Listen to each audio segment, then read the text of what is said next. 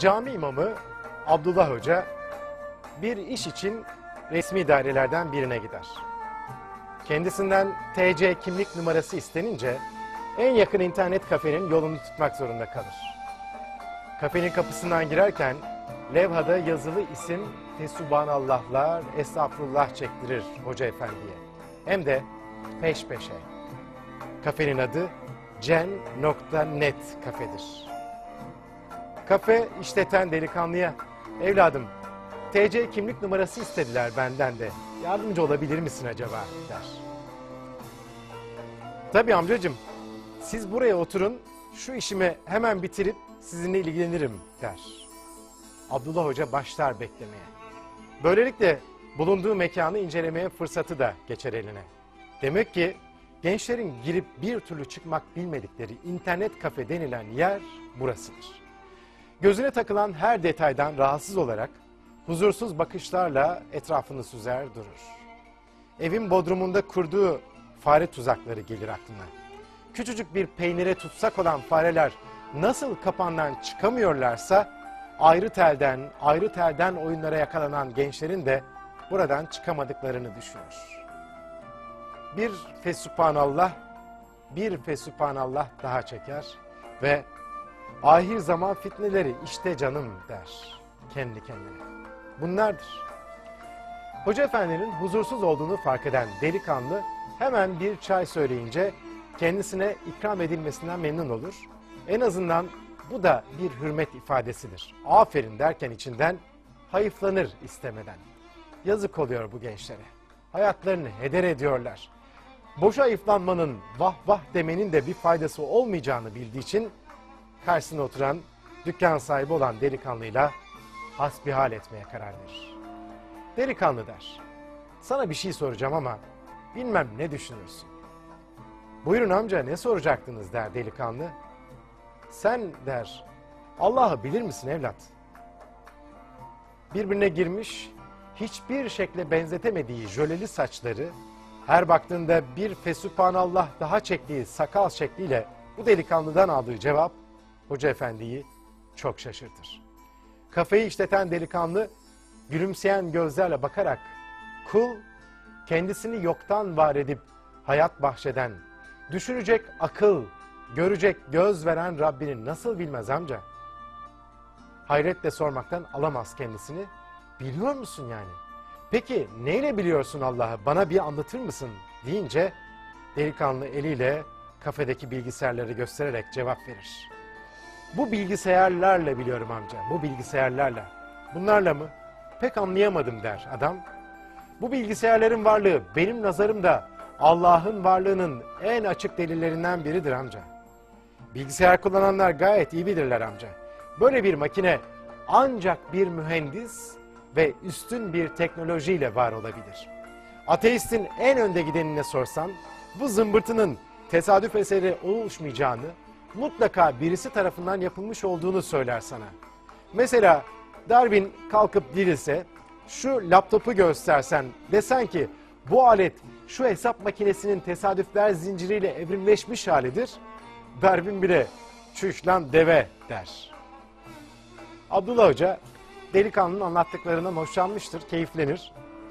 Bilgisayarın kendiliğinden yapıldığını kabul etmeyen adam, onu yapan insanın yaratılmış olduğuna gelince kıvırı verir, kıvırı veriyor değil mi evlat?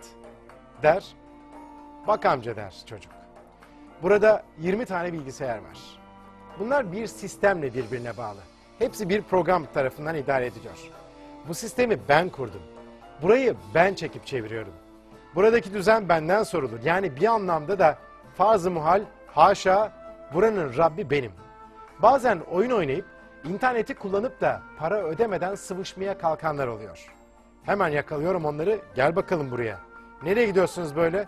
Buranın nimetlerinden faydalanıp da başıboş bırakılacağınızı mı zannettiniz?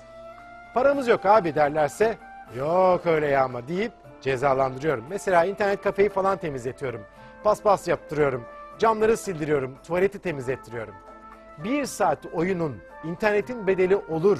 Bunun hesabı sorulur da sayısız nimetlerle dolu koca bir ömrün hesabını sormazlar mı insana? Bir kafenin bile işlerini düzenleyen, tertip eden biri varken koca kainatı kusursuz işleyen bu sistemin bir kurucusu olmaz mı amca? Olmazye'nin ahmaklığını bütün noterler tasdik etmez mi? Vallahi evladım pek takdir ettim seni. Peki Allah'ı nasıl bilirsin?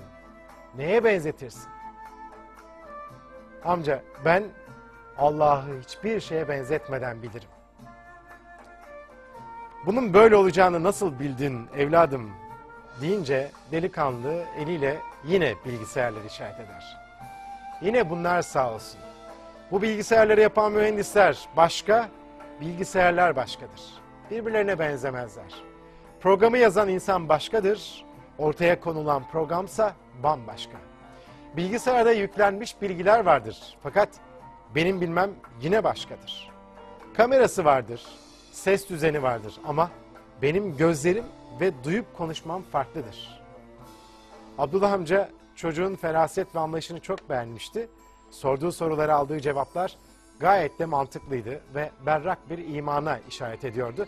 Aslında buradaki işi bitmiş, kimlik numarasını da çoktan almıştı ama muhabbete devam etmek istedi. Peki varlığına inandığın Rabbin için ne yapman gerektiğine dair ne biliyorsun? Ne yapmam gerektiğini biliyorum amca fakat ne kadarını yapabildiğim hususunda kendimi yeterli görmüyorum. Ne bildiğini söylersen neler yapabileceğine dair yardımcı olabilirim belki evladım deyince hoca neler yapmam gerektiğine dair şuradan biliyorum amca. Öncelikle Rabbim bana bir gönül vermiş. Kendisini bilmeyi nasip edip muhabbetini gönlüme yerleştirmiş. Ben de gönlümde sadece ona ve sevdiklerine yer vermeliyim. Onun istemeyeceği şeyleri gönlümden uzak tutmalıyım. İkinci olarak da bana verdiği dili razı olmayacağı sözlerden korumalıyım. Her zaman onu söylemeli, onu anlatmalıyım. Son olarak da bana verdiği bu bedeni onun razı olacağı şekilde kullanmalı, bir gün toprak olacak vücudumu onun yolunda eskitmeliyim. Benim bildiğim bundan ibaret. Ee evladım, daha ne yapacaksın? E başka bir şey de kalmadı ki. Efendim yapmalıyım, etmeliyim diyorum ama bal demekle ağız tatlanmıyor ki. Gidilecek yolu bilmek ayrı, usulüyle yolda yürüyebilmek apayrı bir şey. Yine bilgisayar tabiriyle söylemek gerekirse şeytan denilen melun hacker benim sistemimdeki nefis virüsünü aktif hale getiriyor. Üstesinden gelene bilene aşk olsun. Etkili bir antivirüs programı bulmam lazım belki de hem de en kısa zamanda deyince ben biliyorum dedi Abdullah Hoca ve arkasından ekledi. Namaz. Aa evet amca namaz. Namaz antivirüs programlarından birisi. Hayat sistemine kurup günde beş kere de bağlanırız. Böylece sürekli güncelleniriz. Çok sağ ol dedi. Hoşçakalın.